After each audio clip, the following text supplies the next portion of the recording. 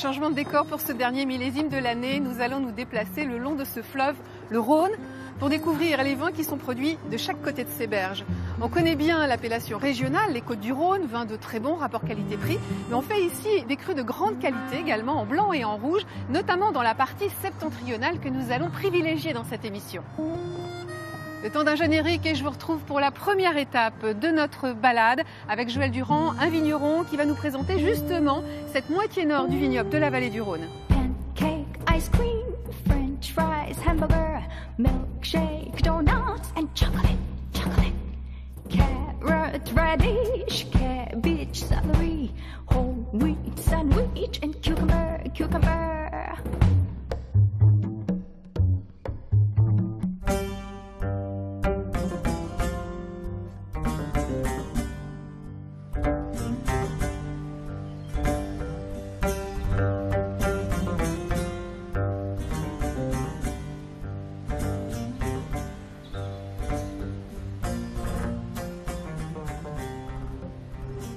Bienvenue dans ce coteau de, de Châteaubourg, donc euh, au-dessus du, du village de Châteaubourg, avec euh, ben, le château, le château en fait qui est presque plus important en surface que le village qui est tout petit, et puis avec les deux fleuves, euh, le Rhône, l'Isère. Alors justement, racontez-moi un petit peu ce paysage qu'on voit autour de nous.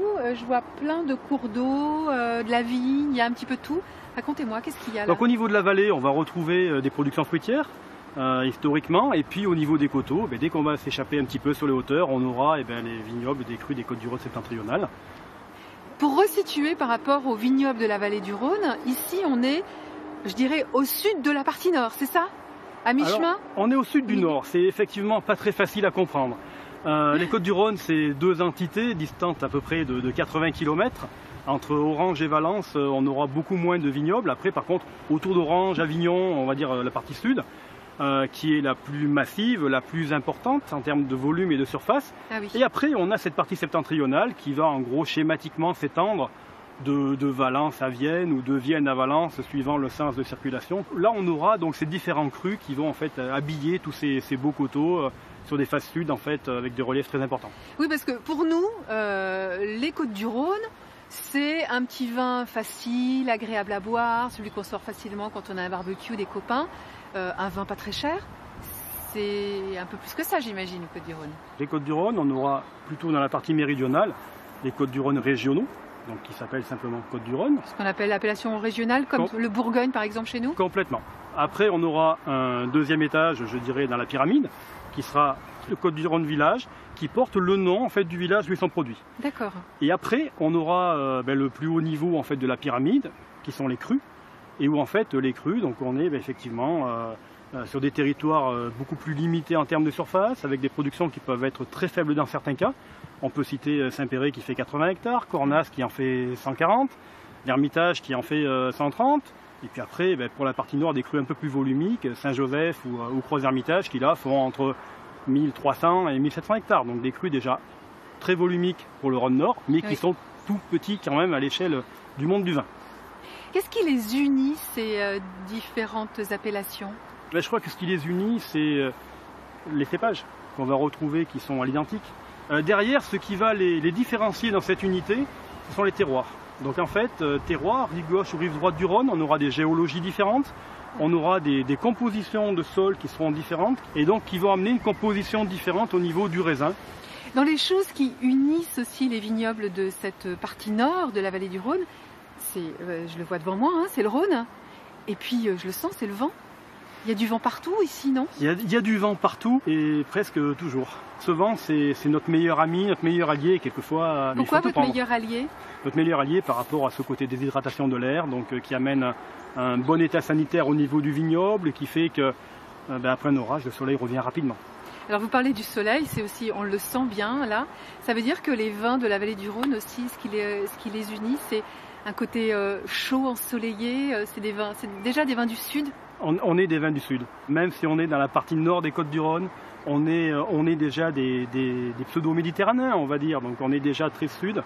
Euh, et en fait, on a des épices dans les vins, on a des fruits mûrs, on a ces arômes de, de- de concentration, de couleurs très importantes sur des syrahs très noirs. Donc effectivement, on, on est des gens, du, des gens du sud déjà.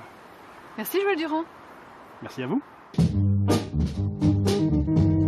Vallée du Rhône est un des plus vieux vignobles de France. Ses premières vignes auraient été plantées par les Romains vers le IVe siècle avant Jésus-Christ, aux environs des actuelles appellations côte et Hermitage. Les vignes s'étendent sur 71 000 hectares, de part et d'autre du Rhône, sur des coteaux parfois abrupts, notamment dans sa partie nord. On produit ici 2,5 millions d'hectolitres chaque année, essentiellement des vins rouges, mais également des rosés et un peu de vin blanc. Le vignoble de la vallée du Rhône est séparé en deux.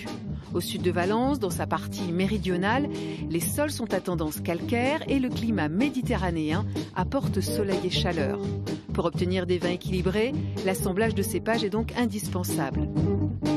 Cette partie compte 8 crus dont les plus connus sont Châteauneuf-du-Pape, Chigondas, Baume de Venise, un vin doux naturel ou encore le fameux Tavel, un rosé.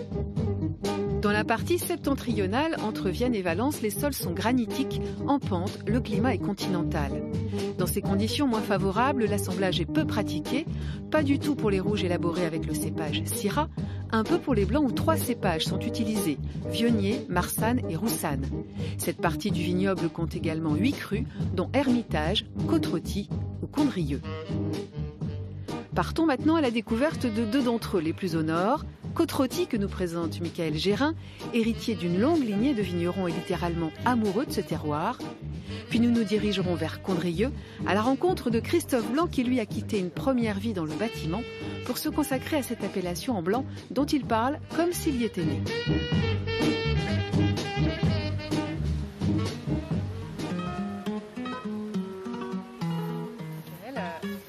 On voit là les, vignes devant, derrière.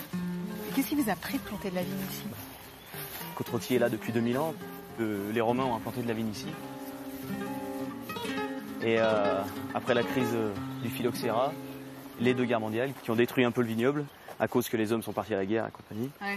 Quelques fous en fait se sont dit, euh, donc mes grands-parents, d'autres grands-parents et, les générations avant nous se sont dit, il y a eu de la vigne ici, il faut, il faut la replanter. Et ils se sont mis à rebâtir le vignoble, à défricher les coteaux, et euh, au début, ils ont tous été un peu pris pour des fous parce que à cette époque-là, le, maraîchage dans la plaine d'Ampuy euh, était en plein essor et marchait très bien. Et c'est vrai que les vins de côte n'étaient plus, plus assez connus du grand public. Et il a fallu faire redécouvrir tout ça, replanter. Et aujourd'hui, ben voilà, il y a 300 hectares de, de côte qui sont, qui sont magnifiques. ce qui impressionne euh, à première vue, c'est cette pente. Quel est l'intérêt de planter sur des terrains aussi pentus? C'est, il y a un intérêt, on va dire déjà par rapport, on le voit très bien aujourd'hui, au soleil. Ah ça, je peux dire que je comprends pourquoi ça s'appelle côte hein. À l'ensoleillement, qui est vraiment euh, très important. On conserve, on est le vignoble le plus septentrional aussi, donc on conserve de la fraîcheur avec des nuits assez fraîches. On reste en haut de la vallée du Rhône.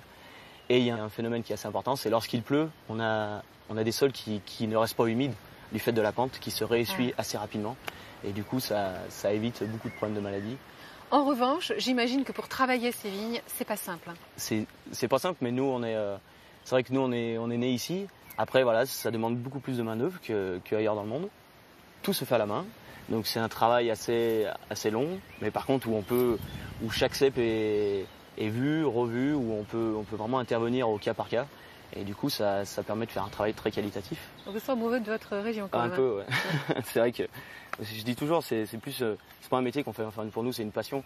Moi, j'ai eu la chance de, de naître ici, d'avoir des, des grands-parents qui sont euh, qui, sont issus de ce milieu viticole. Et du coup, euh, on peut que aimer ça. Enfin, c'est quelque chose qu'il faut savoir conserver. Quoi. Les, les cèpes qu'on voit derrière nous, c'est quoi comme cépage? Donc là, c'est le cépage Syrah qui est ici. Donc c'est le cépage roi hein, de, la moitié nord Exactement. pour les vins rouges Toute la vallée du Rhône septentrionale, à partir de Valence, on va dire. Vraiment, là, on a uniquement de la Syrah pour les rouges. Et sur côte uniquement Syrah. Et on a le droit jusqu'à 20% de Vionnier.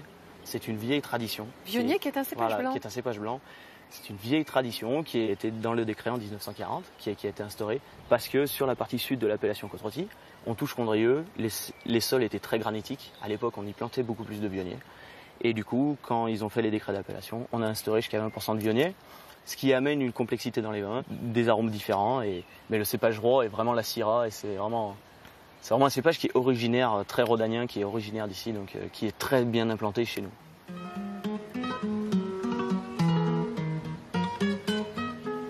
Les vins de la vallée du Rhône ont la réputation d'être des vins assez charpentés et plutôt de garde. C'est le cas aussi pour côte Je pense que le, goût des gens évolue, le goût des vignerons a évolué aussi.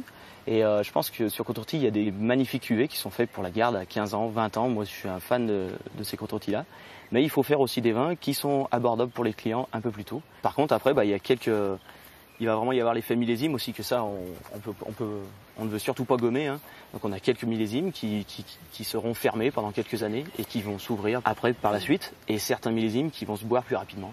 Merci Michael. De rien. On va aller donc, euh, vous en parliez juste à côté, hein, c'est l'appellation Condrieux, l'appellation en blanc. On va aller voir nos confrères là-bas tout de suite.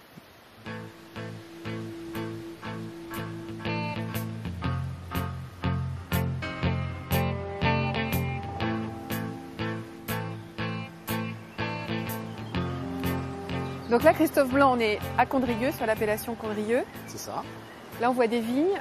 Elles sont taillées. on a l'impression qu'elles sont même pas taillées. Ah, euh, Au-dessus, là, ça pousse dans tous les sens. Si, hein. si, si, non. C'est, on, travaille nos, nos vignobles. Il n'y a aucun problème là-dessus. Ce qui se passe, c'est qu'on a eu un printemps euh, assez froid, donc euh, la vigne a eu du mal à un peu à pousser. Et là, ces quatre derniers jours, elle a poussé au moins de 20-30 cm. Donc ah, on se retrouve, euh, alors comme vous pouvez voir, on a fait un premier passage. Alors on arrive à passer trois fois dans les vignes, on appelle ça les reliages, qui permet de, tenir, d'attacher la vigne euh, sur les échalas. Et après vous allez couper le bout euh, Après on coupe l'apex, voilà, l'extrémité de, la vigne, tout à fait. Le cépage qui est utilisé pour le condrieux? 100% vionnier. 100% vionnier 100% vionnier exclusivement. Alors parlez-moi un peu de ce cépage, parce qu'on ne connaît pas trop en Bourgogne. Alors oui, bah, c'est les Romains qui nous l'ont emmené, ce cépage. 300 ans après Jésus-Christ. Et c'est vraiment le fief du vionnier. C'est quoi les qualités de ce vionnier? Qu'est-ce qu'il a de particulier? Alors la particularité, c'est qu'on euh, a déjà le vionnier, c'est un cépage qui est très aromatique. On a des arômes comme euh, les fleurs blanches, pêche, euh, des arômes comme cela. Mais également, on a une bonne minéralité, une bonne fraîcheur sur les vins. Comment vous faites avec le soleil qu'il y a ici? Eh bien, en fait, c'est tous euh, les terroirs que l'on a, justement. Euh, on a un type de granit qui est assez intéressant euh, à ce niveau-là. si vous voulez, je peux vous emmener voir un, exemple de granit. Ouais. Très bien.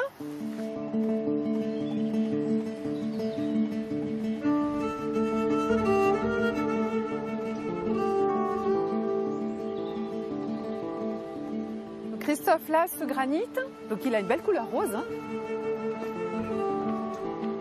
Qu'est-ce que ça apporte alors du coup euh, Vous me disiez que ça permet d'avoir de la fraîcheur? Voilà, exactement. On a des très beaux terroirs, donc euh, du coup on peut travailler sur la surmaturité tout en gardant de la fraîcheur en effet sur nos vins.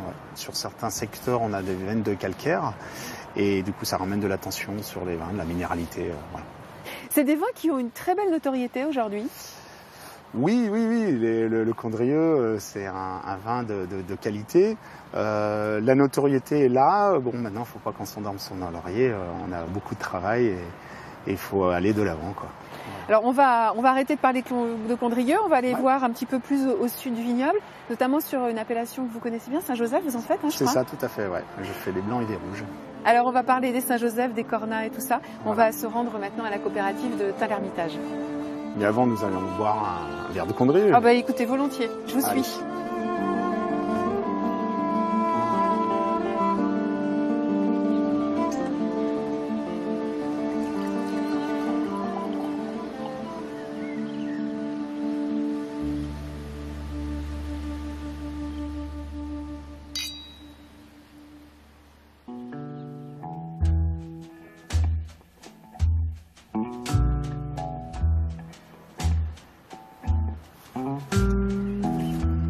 Avec euh, Xavier Gomard, directeur de la cave de Tain-l'Hermitage, qui est une cave euh, coopérative euh, assez importante dans la région. Assez importante, elle a été créée il y a 80 années hein, par tout un collectif et depuis on regroupe environ un millier d'hectares. J'ai amené à ce point de vue parce qu'on voit très bien les différentes appellations avec tout au bout à droite Saint-Péret qui était donc l'appellation méthode champenoise du Rhône qui maintenant est beaucoup plus vers le vin tranquille.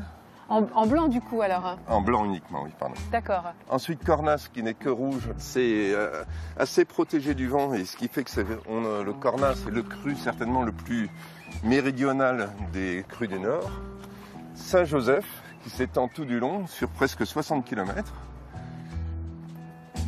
De l'autre côté, vous avez tout le vignoble de Croz-Hermitage, qui est sur des alluvions, des gros galets qui ont été amenés par l'Isère et le Rhône.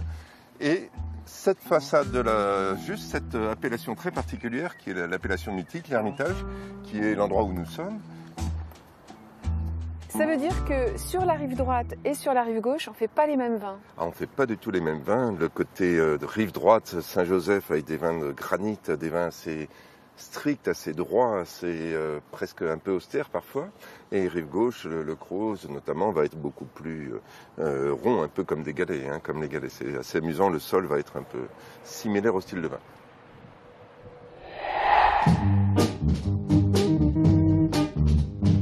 Et comme toujours ici, la théorie ne suffit pas. Xavier Gomard nous propose donc une dégustation juste en bas du coteau dans la cave coopérative de tain Une invitation évidemment impossible à refuser.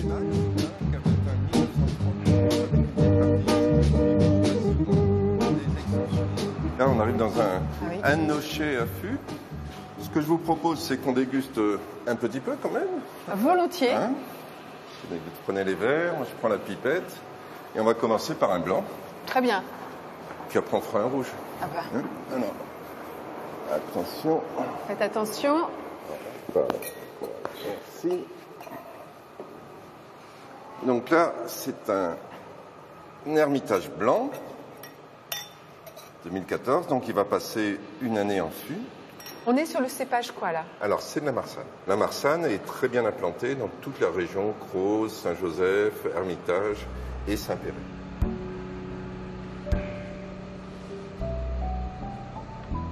Donc maintenant, après ce blanc, on va vous faire goûter un Saint-Joseph rouge. Donc là, Syrah, j'ai bien retenu la Syrah uniquement.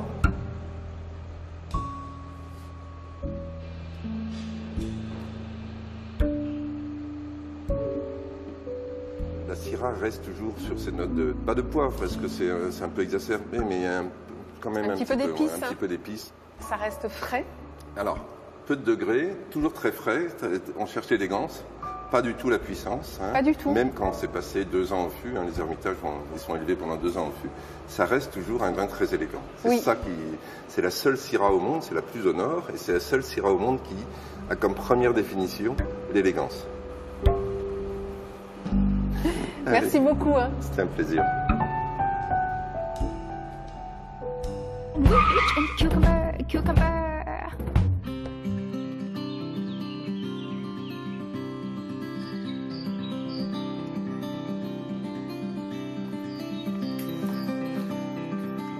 Bonjour Lilian. Bonjour Muriel. C'est bien, vous m'avez préparé un verre? Voilà.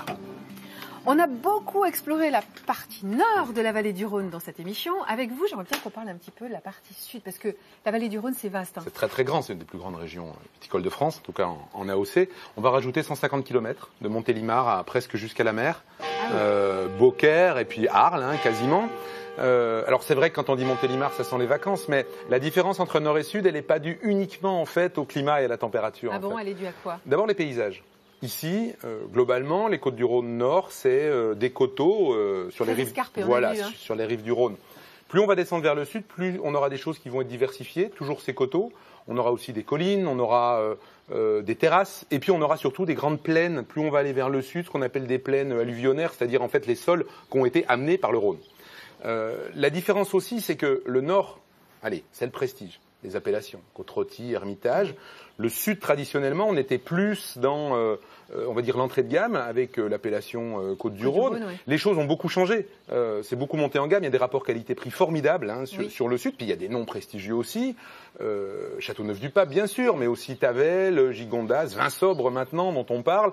Voilà, il y a cette différence-là. Et puis aussi, ce qu'il faut bien comprendre, c'est que plus on va aller vers le sud, plus on va se retrouver euh, vers une façon de faire du vin inspirée du sud. D'abord avec les cépages.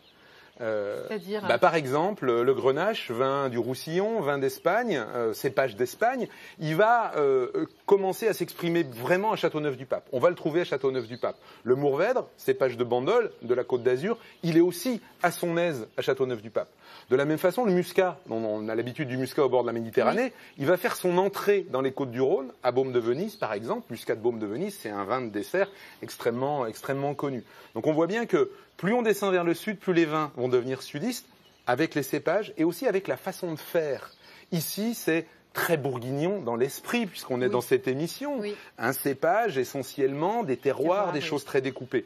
Plus on va aller vers le sud, plus on va se rapprocher de la façon de faire de la Provence, du Languedoc, qui sont les voisins, qui touchent avec de, l'assemblage, avec des mélanges de cépages. Alors le plus bel exemple, même s'il est un petit peu euh, folklorique, on va dire, c'est les 13 cépages de Châteauneuf-du-Pape, où on pouvait assembler beaucoup de cépages. Vous ne testerez pas pour euh, me citer les 13 Non, on va pas, y... non, on va pas le faire.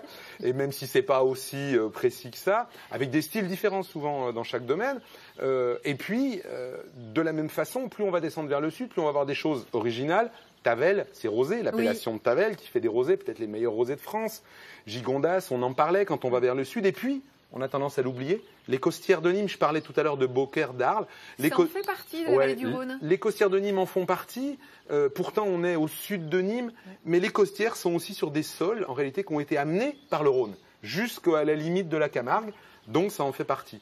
Et puis moi, j'ai envie de vous dire, on vient de brosser toute la vallée du Rhône, mais on en a manqué en fait. Encore? Ouais. Lesquels? Bah Parce que vous nous avez dit, on est dans le nord ici du Rhône, mais on n'est pas dans le nord, parce qu'en fait, il y a un extrême nord dans la vallée du Rhône. Ben nord. Mais oui, la, vraie vallée du Rhône, les vignobles du Rhône, ils commencent au bord d'un torrent qui sort d'un glacier, quelque part au fond d'une vallée, du Valais en Suisse. Parce que ce qui est extraordinaire avec ce fleuve, c'est qu'au moment où il va sortir de son glacier jusqu'à la Méditerranée, il y aura des vignes autour. Et il y aura ce fabuleux vignoble du Valais, pour commencer, euh, qui est très peu connu, qui est formidable, qui ressemble d'ailleurs par certains côtés beaucoup à ici. Ah très escarpé, très ancien, avec des grandes traditions. Voilà, peut-être qu'on en parlera un jour. Ah ben pourquoi pas, on prend rendez-vous Allez. Merci Lilian. De rien, Muriel.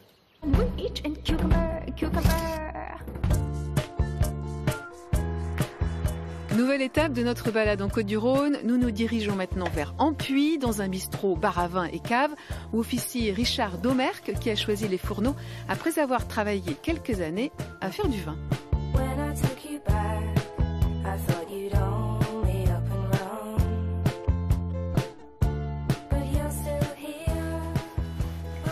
Richard Domerck, c'est vous qui nous accueillez aujourd'hui avec un joli plat, avec de jolies couleurs. De quoi il s'agit?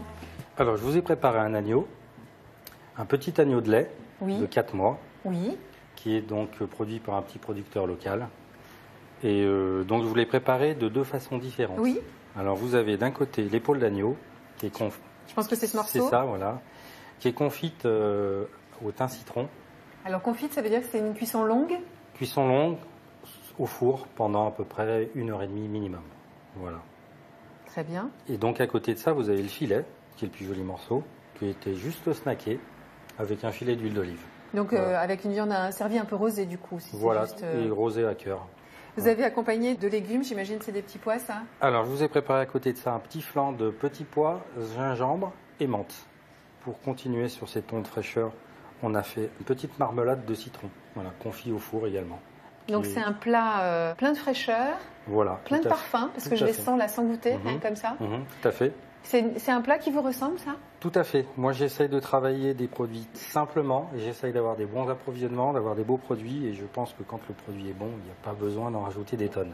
Pour les vins, c'est exactement la même démarche. Alors, justement, si on parle d'accord entre les mets et les vins, qu'est-ce que vous proposeriez comme vin avec euh, ce plat? Ce plat-là, le fil conducteur, c'était la fraîcheur. Donc, j'ai voulu, en fait, on a voulu vraiment garder ce fil conducteur-là et avoir la fraîcheur aussi dans, le verre. Donc il vous a été servi une bouteille de côte rôtie 2007.